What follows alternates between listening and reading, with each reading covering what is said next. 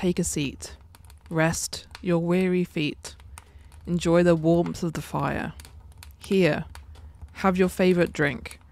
It's time to speak about our gods and heroes, of stories that have echoed down the centuries to meet our eager ears. It's a glorious night, so sit back and enjoy.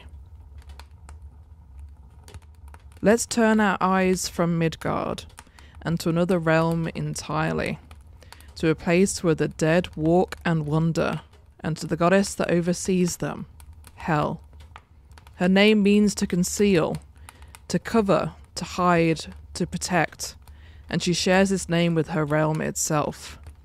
Away from the seeming shining heights of Asgard and the other worlds, Hel rules in a place that is so often feared.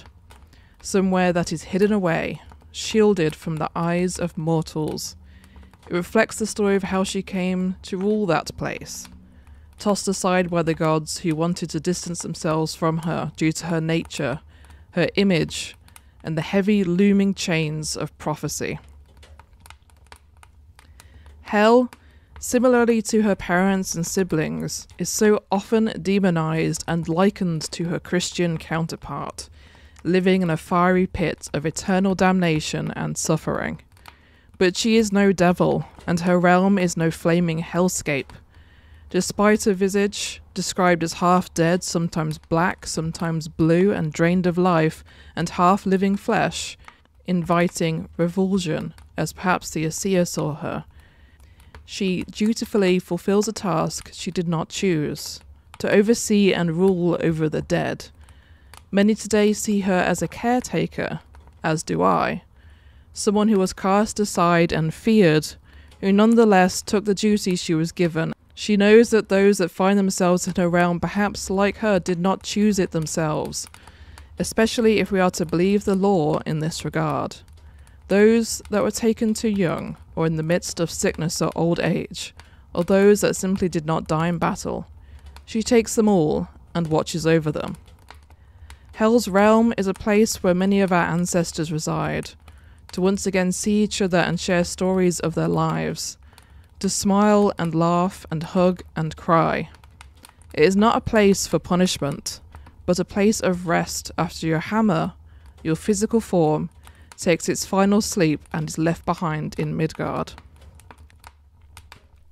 This image of Hel is how many modern worshippers see her a goddess who didn't choose her fate, a goddess who was cast aside out of fear of the future, a goddess who ultimately cares for those that enter her domain.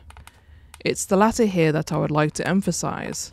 It says something about her character that the lore and stories that we do have say that Hel isn't cruel. She doesn't punish those that fall under her rule, or otherwise lash out from a place of vengeance or a sense of justice. But, a word of warning. As humans, we fear death. It is seen as the antithesis of our being. We thrive in the light, in fertile fields and bustling cities, looking so much like bees in a hive. We are taught to fear death in a society that so often sees our final fate as resting on a tightrope between everlasting bliss and eternal wrath. We flinch and recoil from death when we stumble upon it. it is seen as a horror, leaving us in a state of shock and emptiness. We grieve, we mourn at the absence of a person, the person shaped hole they leave in our lives, as we all try and make ourselves whole again and move on, but never really moving on. We are left with scars that no physical wound can leave, deep and frayed. This is the nature of living a mortal life. We have a beginning and an end, and a final end that we cannot know. Hel is a goddess that in some ways represents all of this of the horror, the unknowable, the mourning, and the grief. She resides in a place that no living mortal has ever stepped. Those that worship Hel have to approach a goddess that represents so much of what we fear and do so without fear but respect. Kindness. It's a journey, we are but flesh, blood, and brains, living in a world that will continue long after we are gone. We are ephemeral, but we leave our mark on the world in the people we interact with. We spin wyrd of our own making, contribute to the greater web. There's solace in that as a heathen. The idea that a tapestry's design can only really be seen when you step back and not linger on the individual threads that contribute it. We all matter, and what we do can reflect back on the world in ways that we cannot know, rippling across the weave.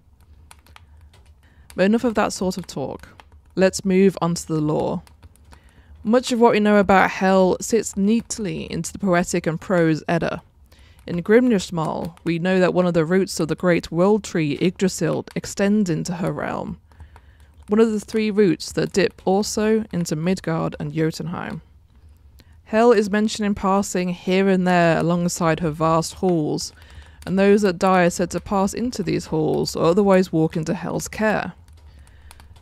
As it is, the bulk of what we know comes from the prose Edda, and it's here that we get more of her history.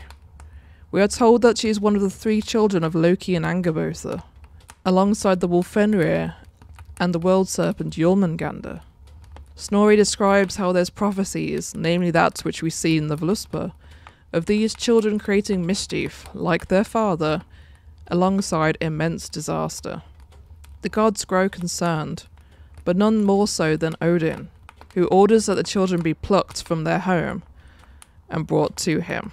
Jormungandr is tossed into the ocean, Fenrir taken by the gods, with Tyr being the only one brave enough to approach him.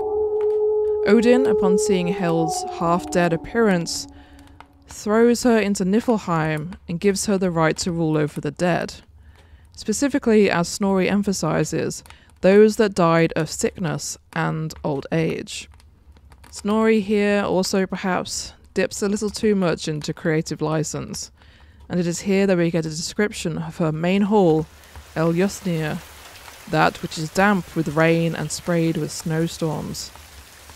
There's a knife called famine, a bed, sickness bed, a dish called hunger, a servant, Ganglati, and a serving maid, Ganglöt, lazy walker. The threshold is called stumbling block, and the curtains shine with light gleaming, it is a place of opposites, a place of misery. Perhaps unsurprising, Snorri also describes Hel here as rather downcast and fierce. Hel also plays a significant role in the death of the god Balder. Upon his death, Frigg pleads with the gods to travel to Hel and beg for her son to return to her. Side note they also find it interesting that Balder died of neither old age or sickness and still ended up in Hel. Damn you, Snorri. Anyway, the god Hermod volunteers and travels on the back of Sleipnir to make his case. He arrives and finds Balder and stays the night. The following morning, he approaches Hel and pleads for Balder's return, as he promised Frigg he would do. He speaks on the god's misery and how they miss the golden god of Asgard, Indeed, the world must be mourning for Balder, so beloved as he is. Upon hearing this, Hel essentially wants to test whether Hermod is exaggerating, or if he is speaking the truth. She says that she will let Balder return to the gods if all things in the world weep for him. Everything weeps for him. If it is indeed true that he is beloved, as Hermod says, this should be a simple task.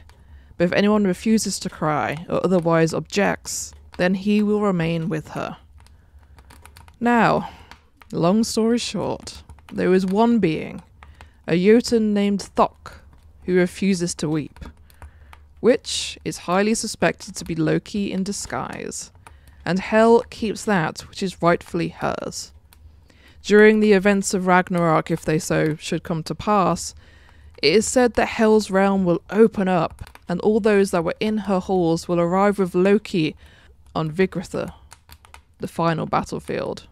Hel is also mentioned incredibly briefly over the course of Heimskringla and Egil's saga, mostly in phrases such as Hel's companion referring to Balder, or otherwise used to refer to the process of death and dying.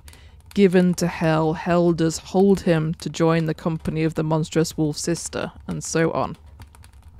But we do have one interesting piece of information to be found in Book 1 of Saxo Grammaticus's History of the Danes, and the story of King Hadding. Here, Saxo offers a different image of Hel's realm that Snorri describes. One night, while Hadding was dining, a woman was seen to raise her head from the ground, holding hemlock. She asked the king, In what part of the world may fresh plants such as this grow in the depths of winter? The king did not know, but he expressed an interest to find out, and so she whisked him away to a place that the living should not walk. But they walked together through a veil of darkness, then along a well travelled path, passing by nobles in purple robes and travellers equally well dressed. They eventually came upon a sunny region which had produced the vegetation that the woman had revealed in the land of the living. They then approached a river with black blue water with weapons travelling in its currents. Over a bridge, they encountered a war of two evenly matched armies. The woman explains that these are men that met their death by the edge of a sword, and they're trying to recapture the victories lived in life. Onward yet they travelled, until they met a vast wall which could not be passed. The woman then rings the head of a cock that she had apparently been carrying somewhere on her person, and threw it over the wall. Shortly after, they heard the sounds of the bird given life once more. It is here that we get another image of Hel's realm. It is no place of misery and rain or pit of fire, but a place that in its own way is full of rejuvenation and activity. The dead once again regain their abilities granted them in life. With all of this in mind, it's fair to say that the Lord doesn't give us much to work from as heathens. Though Hel herself is seen as fair, just, caring, those that die are said to go into her hold. You can almost imagine her arms as they wrap around a departed soul in comfort. She is not evil. She reflects the pluralist nature of the gods themselves. There's no great good versus evil here, but multifaceted and complex beings, of which we know startlingly little. Hel is not to be feared. Perhaps, if the feeling ever takes you, offer her a beverage of your choice. Light a candle and talk and share with her. Laugh and smile. Tell her of your ancestors. Ask her perhaps to pass on messages of love. Thank her for the time, for she looks after the dead, and will perhaps look after you when your time comes.